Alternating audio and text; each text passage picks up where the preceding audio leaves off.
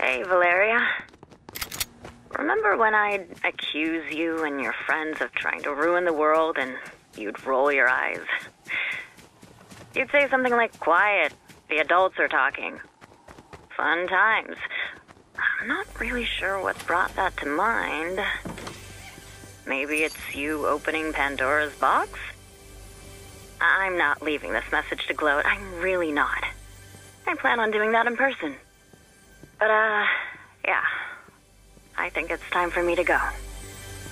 With all of your connections, you probably know this already. But Pandora's box is a part of something bigger. I can't shake the sense that I'm a part of it too. I don't know where I'm going or when we'll see each other again. So, if this is goodbye, it's been nice being your sister. And I'll be honest, even better being your nemesis. Take care of yourself. Nisha says hi. Hey, me again. I forgot a few things last time. First, Peely says hi. At least, I think that's what he said. Apparently, he really enjoyed being a hostage. He loves attention, so that tracks. Jones is still not your biggest fan, what with the nana napping and all. But I've convinced him to get out of the vengeance game.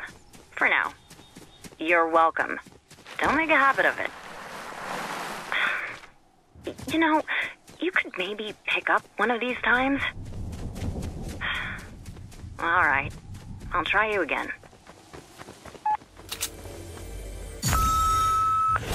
Okay, that time you definitely sent me to voicemail. You are gonna feel so bad when you finally listen to these. But I'm sure whatever you're doing is much more important than having a final conversation with your sister. I disbanded the Underground.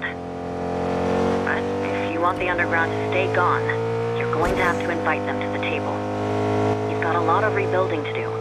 Don't do it alone. Nisha can help. The Underground are good people. They hate you, so right there you know they've got good judgment. I set up a meeting. The rest is up to you. Right thing this time. I know you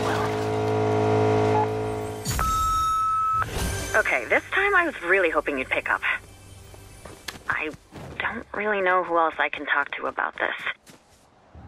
So, turns out, my art can see the future. Well, uh, no, wait, wait, wait. Um, I can see the future, but it only shows up in my art. Yeah, I'm not explaining this well, am I? You know your whole fire thing? I can see the future through my paintings. So, kind of the same thing. I think I just had to say that. That's probably it. But I can't rule out another call.